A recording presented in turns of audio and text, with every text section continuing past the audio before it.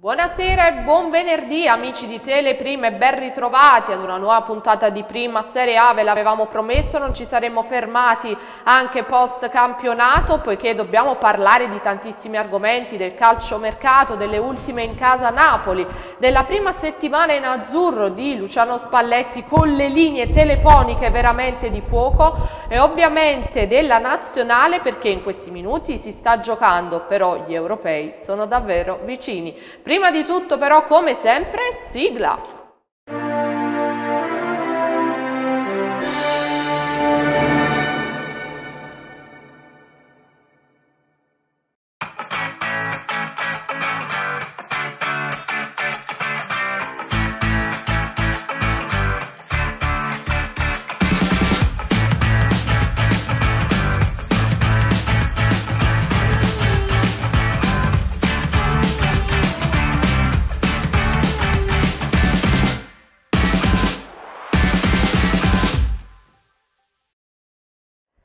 Eccoci qui, vi ho introdotto alcuni dei nostri temi dei quali parlerò questa sera con i miei ospiti.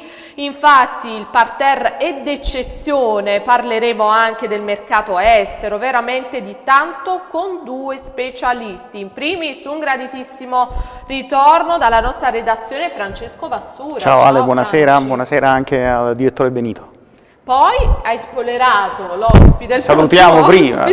Infatti un altro graditissimo ritorno, poiché amico di quella che è stata Aria Gol, che poi è sempre ovviamente il nostro format di Teleprima, Benito Letizia, direttore di Stadiosport.it. Buonasera a tutti, buonasera Alessia, è un piacere tornare qui dopo un anno dal Covid e questo ci dà grande speranza per il futuro direi. È verissimo, è verissimo, un anno che abbiamo trascorso anche un po' ovviamente in sordina, poiché ne parlavamo anche prima a microfoni spenti, eravamo abituati a trasmissioni con tantissimi ospiti, lo studio davvero pieno, ma siamo certi che manca poco e ritorneremo anche in quella situazione dove veramente con i club, con i colleghi riuscivamo a parlare in modo spensierato, ma veramente con un grande quantitativo d'ospiti, quindi ci avvicineremo a anche a quell'idea di format. Iniziamo subito però a parlare prima di tutto delle novità in casa Napoli. Vi avevamo lasciato la scorsa settimana praticamente con l'imminente ufficialità di Luciano Spalletti e Benito per fortuna tutto è andato bene, il contratto è piaciuto allo stesso Spalletti, non ci ha messo neanche troppo per leggere questo contrattore Evidentemente pervenuto. Spalletti è un grande lettore di romanzi esatto. le 80 pagine dei contratti di Laurentiis sono sono sempre molto difficili da assorbire facilmente. È vero, è vero, tutto è andato come previsto, era una notizia già molto chiacchierata che era nell'aria da un po', è stato lui l'uomo prescelto da De Laurentiis che comunque ha puntato ad un allenatore d'esperienza anche internazionale, non ha voluto ridimensionare per così dire il progetto Napoli nonostante la Champions sfumata. Assolutamente, ha fatto uno step in avanti direi con Spalletti, a livello mediatico può essere, uh, un, può essere paragonato all'arrivo di Ancelotti due anni fa, uh, speriamo con uh, esiti differenti, a livello tecnico-tattico è un continuum rispetto al progetto di Gattuso e io non capisco queste critiche che spesso circolano nell'ambiente napoletano sul carattere di Spalletti. Voglio dire, il Napoli è sopravvissuto al carattere di Mazzarri, al carattere eh, dello stesso Gattuso perché non dovrebbe sopravvivere anche al carattere di Spalletti.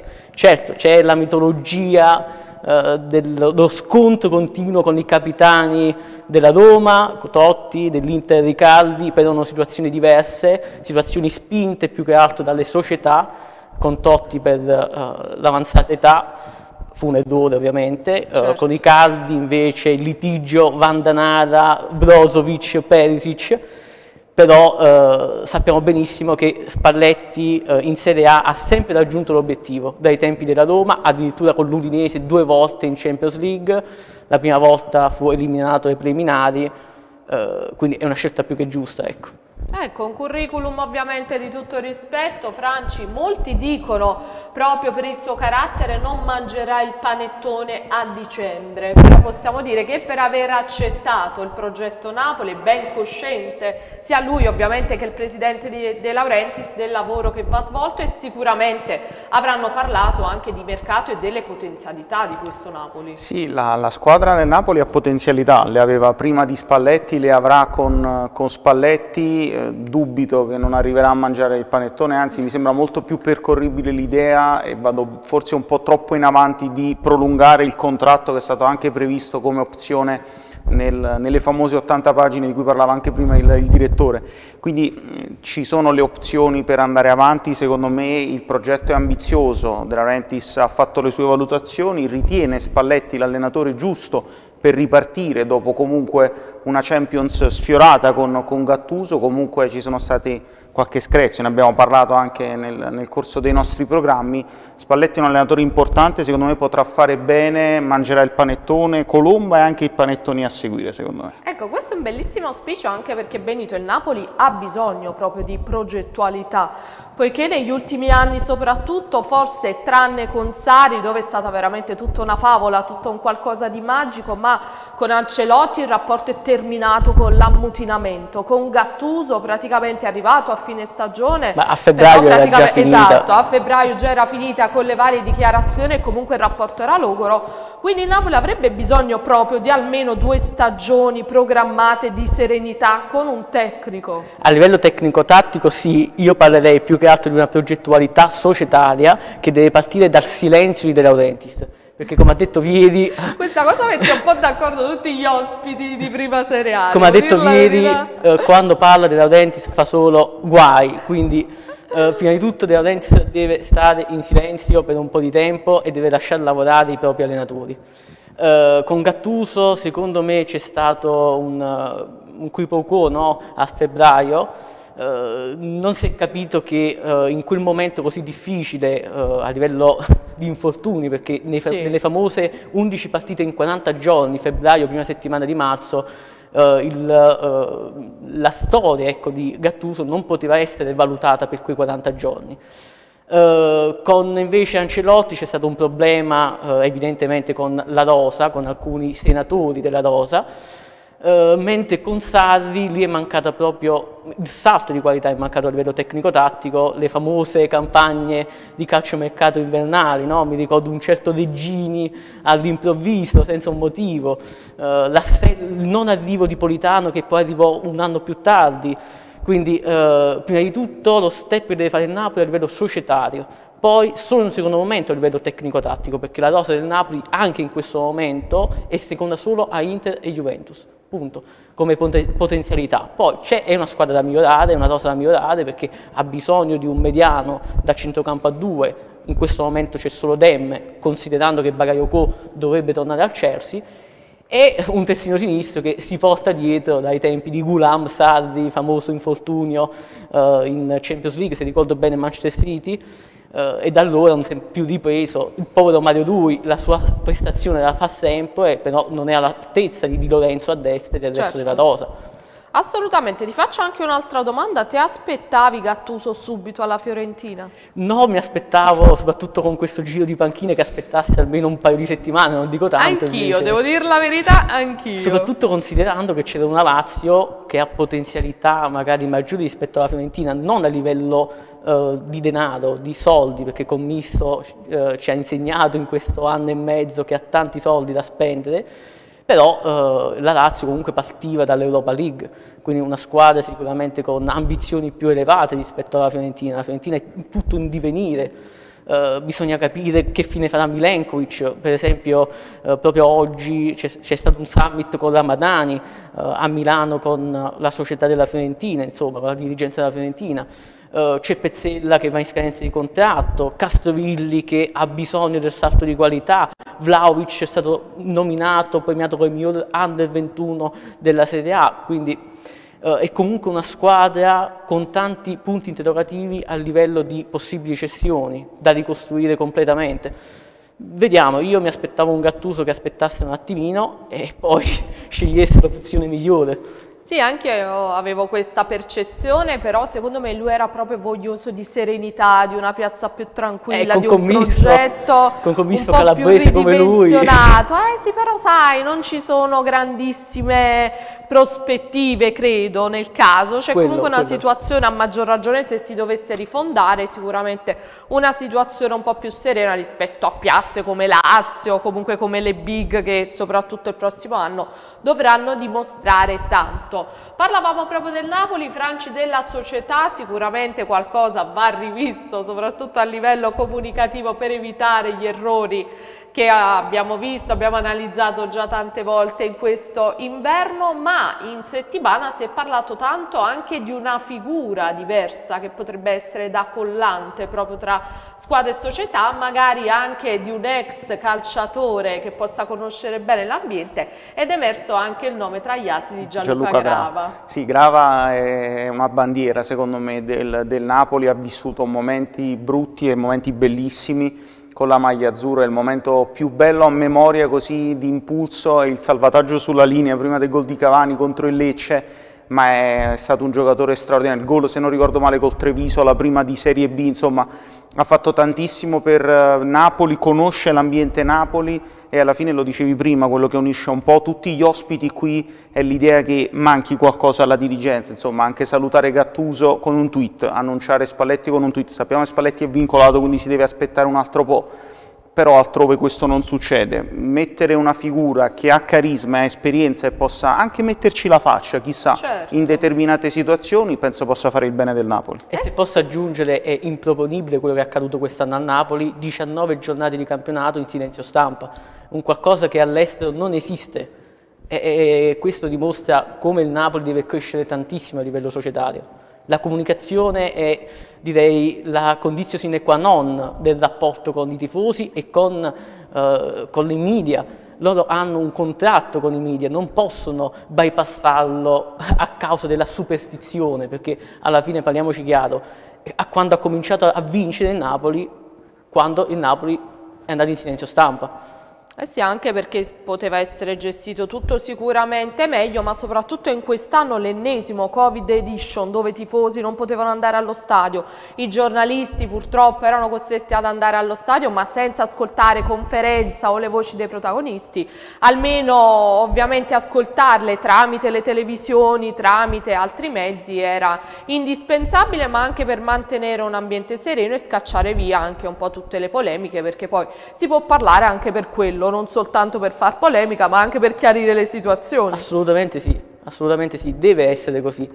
Uh, il, la comunicazione deve essere un modo per risolvere le questioni, ma soprattutto stringere un rapporto con i tifosi di fideiussione, no? possiamo definirlo a livello squisitamente economico-finanziario. Uh, io spero che Napoli non faccia più la figura che ha fatto quest'anno. Lo speriamo davvero perché poi gli errori servono a questo per non ricommetterli poi ovviamente in futuro.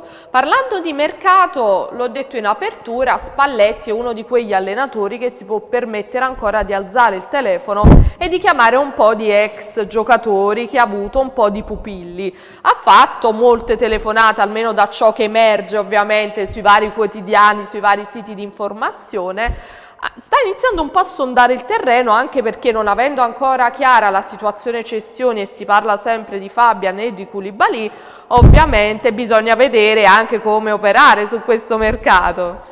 Assolutamente, io credo che Koulibaly sia arrivato il momento di uh, lasciarlo partire, già tre anni fa la, il suo ciclo a Napoli era concluso, in questi tre anni ha avuto una, un depauperamento sua, del suo livello direi incredibile, eh, anche negli ultimi due anni con Manolas ha dimostrato che qualcosa non va.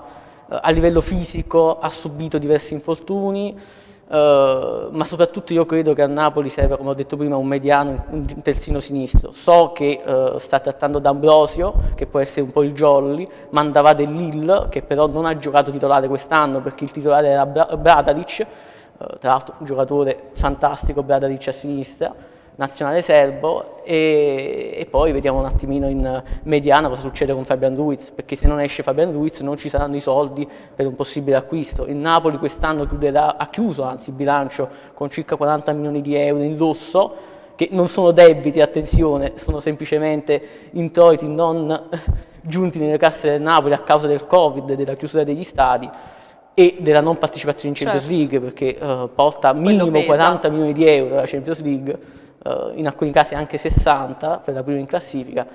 Uh, quindi secondo me il Napoli senza cessioni non può fare grandi acquisti rispetto all'ultimo anno e mezzo in cui abbiamo assistito a Osime, Politano, Petagna, uh, Demme, Lobotka, alcuni acquisti non azzeccati come Lobotka però non ci saranno esborsi come quelli dell'anno scorso e di un anno e mezzo fa, gennaio 2020, cioè di 100-120 milioni di euro, così sull'unghia, eh, come abbiamo visto appunto ultimamente. Ecco, proprio sullo Botka sembra che sia da tempo in memoria un pupillo proprio di Spalletti e lì ovviamente sono partite una serie di ironie da parte dei tifosi poiché ovviamente è stato un calciatore abbastanza ai limiti del progetto del Napoli degli ultimi anni, non cioè da quando giocato. è stato acquistato praticamente. Non ha neanche giocato, esatto. poverino quindi. Eh sì, veramente un po' un'incognita possiamo dire, però sembra che nelle intenzioni di Spalletti ci sia rivalutarlo e rivitalizzarlo. Ma speriamo, Lobotka in nazionale è sempre stato un buon giocatore nella Slovacchia di Amsic, Uh, nel Celta Vigo però non giocava nel Celta Vigo, cioè giocava e non giocava nel Celta Vigo, è stato strapagato e secondo me giunto lì a livello di mercato alle sue colpe perché non si può strapagare un giocatore 20 milioni più 4 di bonus Uh, e purtroppo non ha mai giocato nel Napoli, ha giocato molto poco, ha giocato più Deme, giustamente perché è un giocatore pronto a livello tattico, a livello tecnico, somiglia un po' al Giorginio prima maniera di Sarri, un giocatore che magari fa poco, è poco vistoso ma è sempre presente, è un po' un equilibratore del centrocampo, lì però serve qualcosa di più, serve qualcosa di più. Lobotka, Spalletti si dice lo voleva già ai tempi dello Zenit San Pietroburgo, anche all'Inter, Vediamo, vediamo, cosa succede. Ci avrà visto qualcosa di importante, chissà, magari. Magari l'ha visto in nazionale. Perché eh, sì, magari l'ha osservato, chissà. Franci, invece ti faccio una domanda che in realtà era una cosa della quale volevo parlare già la settimana scorsa, poiché tutto tace invece è qualcosa che comunque secondo me avrà una grande importanza, cioè la questione portieri in casa Napoli poiché quest'anno è stato un po' un punto interrogativo, un po' con la gestione Gattuso, ovviamente. Ospina dovrebbe andare all'Atalanta, eh, esatto. o alla Fiorentina, ci sono due Gattuso offerte. aveva sempre preferito Spina, lasciando un po' ovviamente in disparte lo stesso Meretto, con più competizione è stato più facile gestirlo. Fatto sta però che o si dà fiducia a Meret sì o va via Ospina o si dà fiducia a Ospina e si manda via Meret. Ovviamente in prospettiva anche Meret che è stato poi convocato in nazionale sì. per gli europei, il raziocinio vorrebbe far proseguire Meret e poi appunto come diceva Benito nel caso cedere Ospina. Ma questo anche da un punto di vista anagrafico, Ospina è vero, confermo quello che ha detto il direttore che la, proprio Gattuso lo vorrebbe perché si è trovato molto bene, un portiere completo a mio avviso, diciamo pareggiando un po' sul, sulla bilancia, un pochino meglio Spina, ma Meretta ampi margini di crescita, pagato tanto anche lui secondo me, però un giovane di prospettiva può fare bene, l'europeo potrebbe dargli comunque quella fiducia eccetera. Non se ne parla, io credo che si punterà su Meret, ovviamente qualora mm, Ospina dovesse uscire, però proprio dei portieri, come dicevi giustamente, se ne sta parlando poco, il che non si sa se è un bene o un male, cioè se ci sono tantissime situazioni che già bollono oppure per una volta c'è, tra virgolette, chiarezza, si decide per una volta che ci sarà un solo portiere, come secondo me sempre dovrebbe essere, magari si può fare una distinzione tra campionato e coppe, però la squadra anche deve sapere qual è il suo punto di riferimento, perché il portiere ha un ruolo, secondo me, leggermente più importante degli altri, credo secondo me che Spalletti punterà su Maretta. Deve puntare su Maretta, è un classe 98, ricordiamocelo, pagato 30 milioni di euro, considerando anche Calnetis, pace all'anima sua si potrebbe dire visto che è scomparso, e si parla anche di un possibile ritorno di Sebe come vice Meret oppure addirittura Minante a parametro zero che è andato via sì, da, da, dalla Roma. Mi piacerebbe qualche operazione così perché Minante comunque, un bel, bel come no, infatti. Si parla anche di Pezzella della Fiorentina, di Inculu del Torino come possibili soluzioni low cost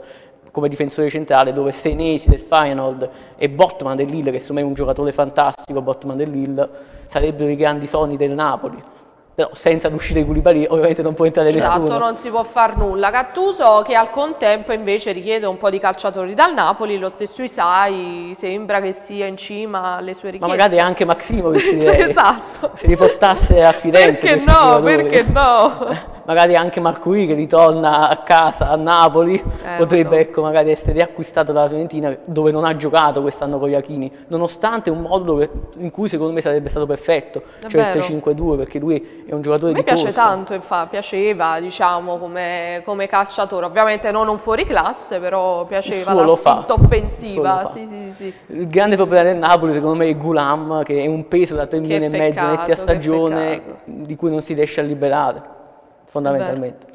È verissimo, bisognerà assolutamente risolvere anche questa questione. Altra questione di mercato, ne parlavamo prima, ehm, appunto l'arrivo di Ancelotti sulla panchina del Real Madrid ha un po' scaldato tutto il mercato, poi dopo nella seconda parte parleremo anche del mercato delle altre big di Serie A, ovviamente anche un po' il mercato estero. Fatto sta che notizia di oggi che Ancelotti avrebbe fatto sempre la proverbiale telefonata ai vertici del Napoli, poiché super mega innamorato ancora del Ciuchi Lozano. Sì, Ancelotti torna a casa, eh, c'è da dire, va segnato segnalato che eh, colleghi molto più autorevoli di me, cioè del Telegraph, hanno detto che prima Florentino Perez ha telefonato a Murigno, che lo vole voleva prima a Murigno il, il clamoroso, ancora più clamoroso secondo me di Ancelotti, però il richiamo del Real Madrid è troppo forte, con tutto il rispetto per l'Everton e del povero James che era tornato, andato in Inghilterra per seguire Ancelotti e dopo un anno già deve andare via,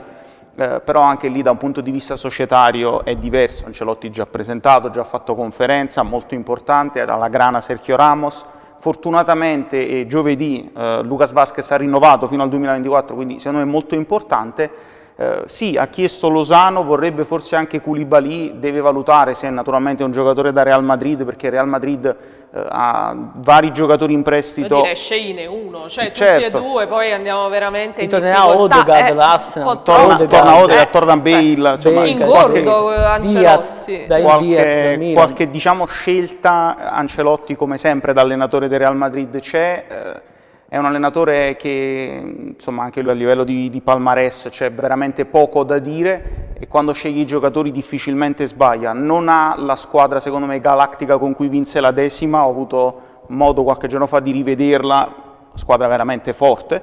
Adesso ha qualche difficoltà in più, potrebbe essere anche in ottica Madrid di ricostruire eh, è un allenatore che secondo me può fare bene, adesso è più tranquillo, ha vinto quello che doveva vincere, è un allenatore che può, fare, può continuare a fare la sua storia. Lozano secondo me non è forse ancora un giocatore da Madrid perché insomma è, non, è, non, è, semplice, Koulibaly già per quello che ha costruito e per quello che secondo me può essere non sarebbe titolare, però qualora dovesse uscire non solo Sergio Ramos ma anche Varan, il Real Madrid potrebbe pensarci. Eh sì, sarebbe una bellissima opportunità anche per lo stesso Koulibaly. Sono d'accordo, sono d'accordo, ne ha tanti il Real Madrid, ne ha tanti, quel Real Madrid di Ancelotti era tutto poggiato su Di Maria che giocava a mezza alla sinistra e si allargava a sinistra per accentrare con l'accentramento di Ronaldo a fare la seconda punta con Benzema ed era uno spettacolo vedere quel Real Madrid, mi ricordo la finale in cui Di Maria giocò praticamente da solo, Gareth Bale a destra che sembrava il Ronaldo mancino vicino. Mamma mia. Eh, Primo Bale.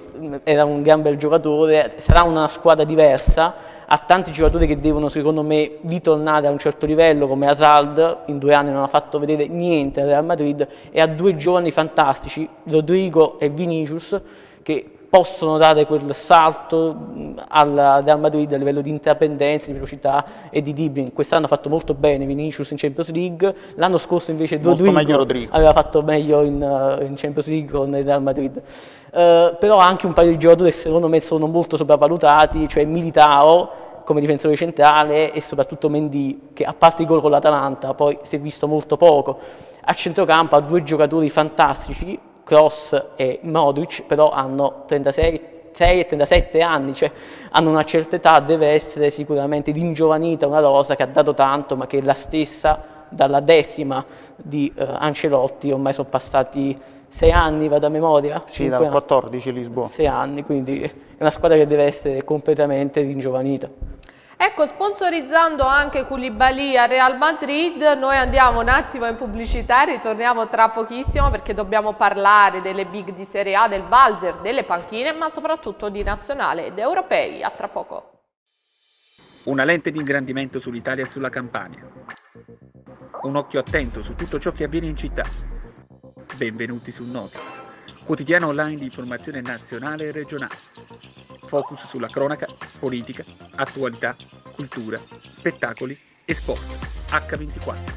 Ci puoi trovare su www.notix.it e sulle nostre pagine social con i canali dedicati su Facebook, Instagram e YouTube. Tutta l'informazione nazionale e regionale solo su notix.it.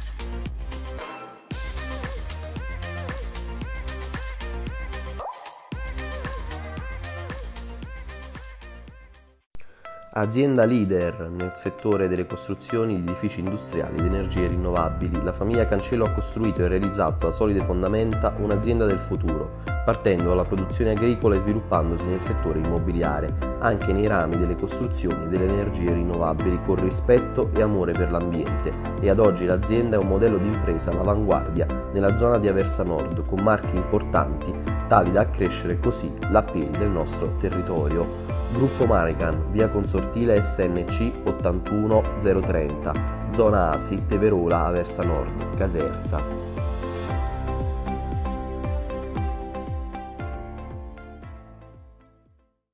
Eccoci qui, siamo ritornati dopo una brevissima pausa pubblicitaria perché dobbiamo parlare del valzer delle panchine di Serie A poiché ci aspettavamo una prima settimana e una seconda settimana senza il campionato un po' più tranquille, invece appena è finito il campionato è successo veramente di tutto. L'abbiamo accennato un po' anche la settimana scorsa, c'è stato l'addio di Conti all'Inter che ha pubblicato proprio in questi giorni una serie di foto mentre in vacanza, tutto sorridente, tutto felice, quindi evidentemente era un po' stressato, aveva bisogno un attimo di staccare la spina dopo quest'anno veramente complesso e la gioia ovviamente dello scudetto. La Lazio che aveva ormai un accordo di massima con tanto di stretta di mano con Simone Inzaghi e il giorno dopo invece le voci dell'accordo con l'Inter che poi è stato anche ufficializzato, ma sono veramente tantissimi nomi per le varie panchine, Sarri alla Lazio, quindi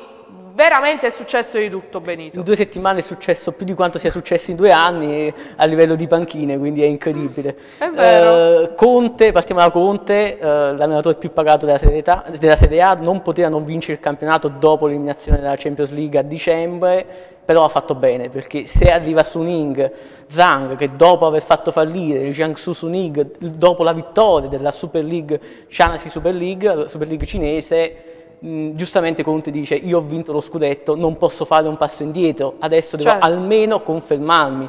Mentre Suning ha, vuole ecco, dar vita a un progetto eh, nel quale ci sarà una riduzione del circa 20% del monte ingaggi e la cessione di uno o addirittura due big o diversi giocatori possiamo definirli panchinari, per esempio come Sensi, che si parla di uh, Shakhtar Donetsk, eh, con- dove sta Del Zerbi, adesso dove allena Del Zerbi, o di Hakimi verso il Paris Saint Germain, si parla di una trattativa tra i 70 e gli 80 milioni di euro, eh, e Lautaro Martinez che non riesce a rinnovare questo contratto ormai da due anni, quindi Conte ha preso la decisione giusta. È vero, è vero, È ridicolo quello che è capitato invece alla Lazio, perché c'è stato questo summit fiume durato 7-8 ore con tanto di cena, di tonno eh, a formello, strette di mano, ripensamenti, però se chiama l'Inter, l'Inter scudettata, post Conte, Simone Inzaghi non poteva rifiutare. Diciamo c'è stata la conferma che ormai il valore delle strette di mano vale nel mondo esatto, niente. ma anche nel calcio evidentemente non valgono niente,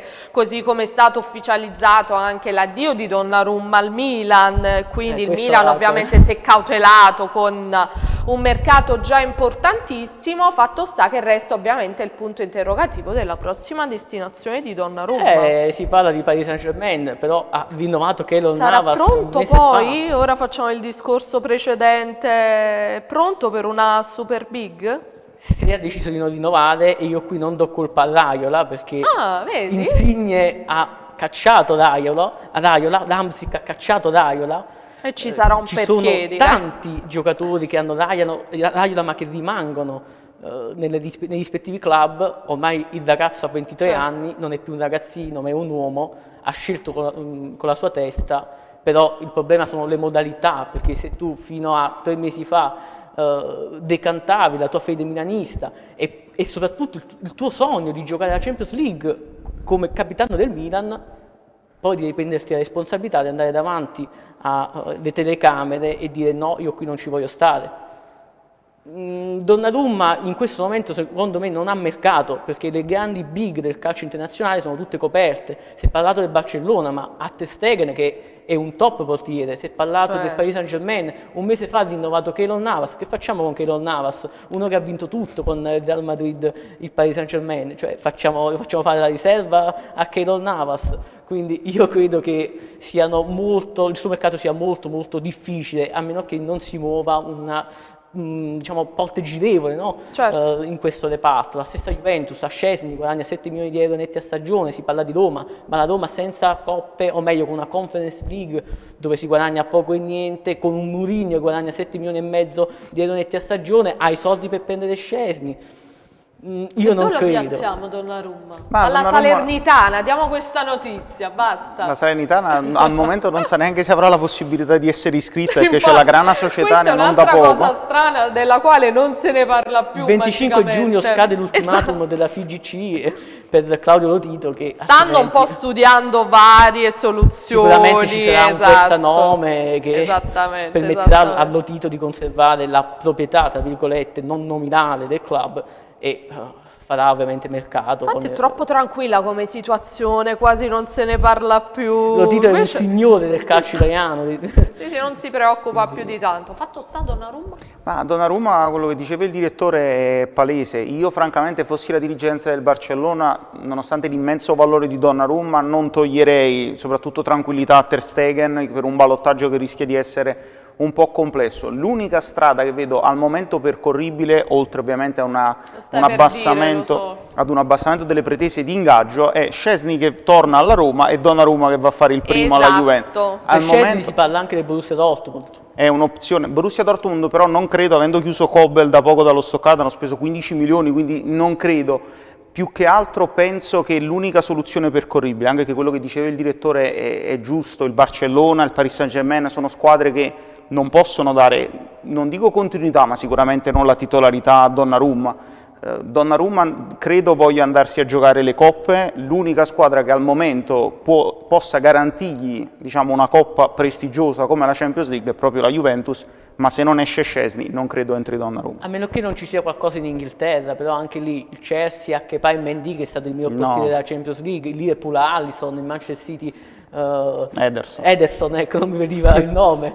Abbi- chi ha- quali altre squadre? Lo United, ma avendo, avendo sia Henderson che De Gea, dubito che avrà possibilità. Possibile. È molto difficile. Impossibile, effettivamente è una situazione particolare, fatto sta ovviamente che ora si godrà i prossimi europei che sono praticamente addirittura d'arrivo la prossima settimana, in questi minuti si sta giocando la gara della nazionale contro la Repubblica Ceca, l'ultimo test prima ovviamente della gara inaugurale degli europei anche dell'Italia contro la Turchia il prossimo 11 giugno, convocazioni che hanno fatto un po' parlare, vabbè poi in Italia tutto è polemica, quindi figuriamoci le convocazioni, fatto sta che il Napoli, parlando appunto di sponda Napoli, è andato abbastanza bene, sono stati confermati Meret, che era un po' l'outsider, esatto, infatti secondo me neanche lui ci sperava a un certo punto, ovviamente Lorenzo Insigne che ha avuto la numero 10, quindi grandissimo riconoscimento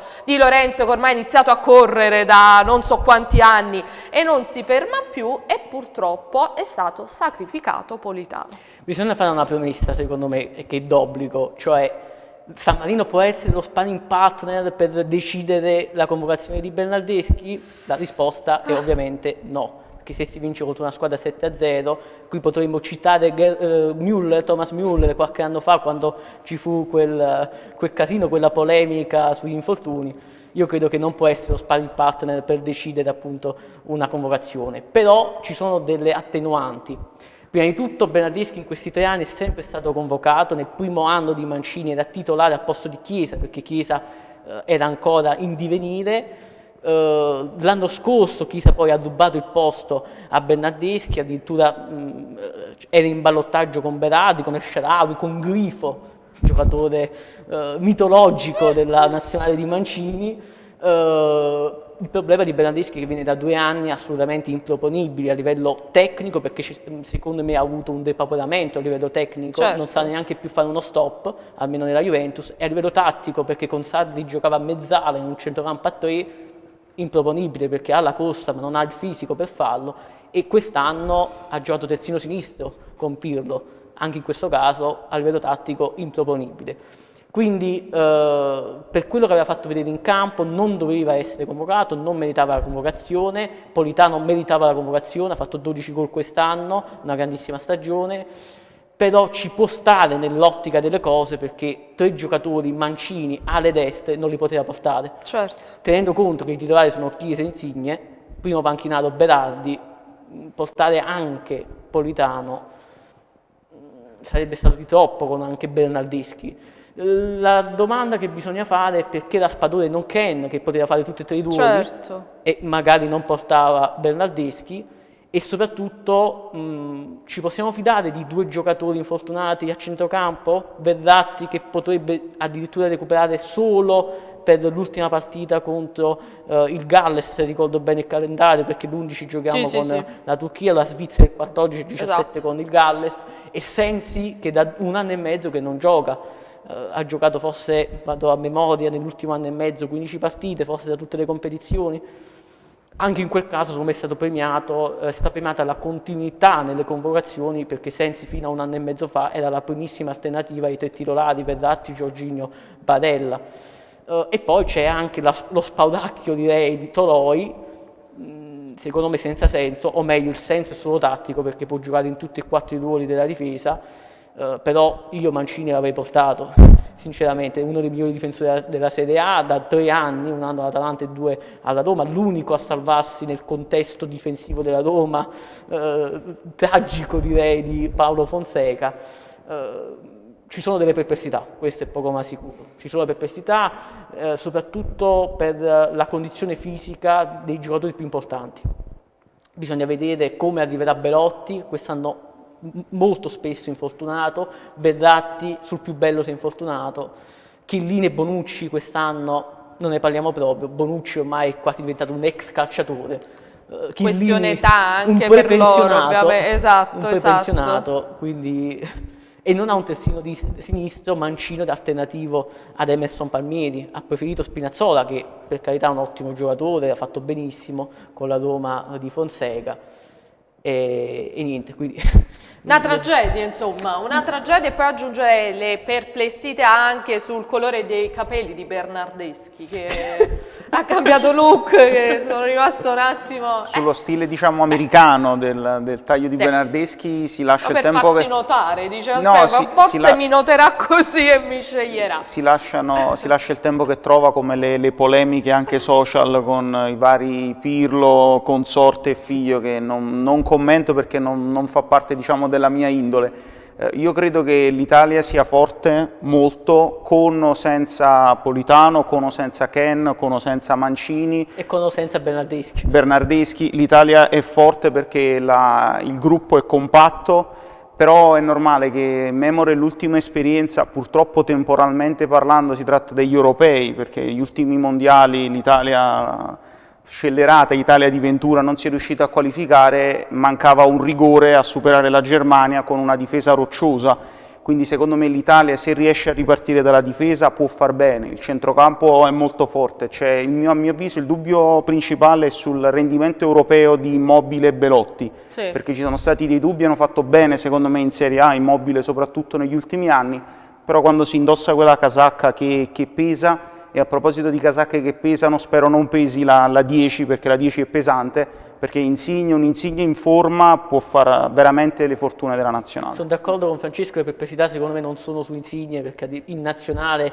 è quasi Messi, possiamo Come definirlo sta così, bene, infatti. però Immobile e Belotti evidenzia il valore della nostra nazionale e del nostro campionato. Nel 2006 avevamo Toni, Giraldino, Inzaghi, Iaquinta, Viri non convocato perché infortunato, e con Totti del Piero che giocavano e non giocavano a causa delle difficoltà fisiche. Quindi il livello si è molto depauperato. Molto, è e vero. con giocatori non Molto. convocati come precedentemente ancora con Chiesa, eh, Beppe Signori e chi più ne chi più ne metta Mancini. ancora. Parliamo di un livello assolutamente diverso, di una nazionale completamente diversa, ma speriamo assolutamente di divertirci e andare più avanti possibile in questo percorso. Ultima domanda, anche un po' provocatoria. Benito, stiamo assistendo anche a un fenomeno particolare intorno alla nazionale. Tante trasmissioni, un mini documentario che partirà da lunedì proprio di accompagnamento, forse proprio per riavvicinare anche i tifosi a questa nazionale che sicuramente non è la nazionale del 2006 e forse anche complici dei risultati abbastanza deludenti degli ultimi anni, un po' si erano allontanati da quello spirito che ci ricordiamo anche quando eravamo bambini, con le bandiere, tutti in piazza a festeggiare. Questo è un, un tema che a me sta, veramente uh, sta molto a cuore, per me la nazionale è, mh, indica ecco, la nostra patria, uh, è un sentimento che io ho nel mio, uh, in me stesso, nel mio essere, siamo figli di- de- dell'Italia, della nostra patria, della nostra storia passata, Certo. presente e futuro. L'Italia deve essere uh, un mezzo, la nazionale italiana, un mezzo di unificazione non solo a livello calcistico ma a livello di un popolo che purtroppo dall'unità d'Italia, 1861, non siamo mai stati veramente uniti, quindi da, con la questione meridionale, eccetera, eccetera. Quindi eh, sì, io spero che possa eh, tornare quel sentimento nazionale del 2006, Seven Army, po, po, po, po, po, po, po, eh, e soprattutto eh, a livello di trasmissioni, eh, un piccolo- una piccola parentesi, ho fatto mezzanotte l'altra volta per aspettare le convocazioni, quindi spero che non succeda un'altra volta, perché con la mia età avanzata Ma dai, che di sei sempre riposo. giovane, è vero che sei direttore, che sei professore, quindi tutti i paroloni impegnativi, pesanti, però esatto. sei giovane, sei giovanissimo.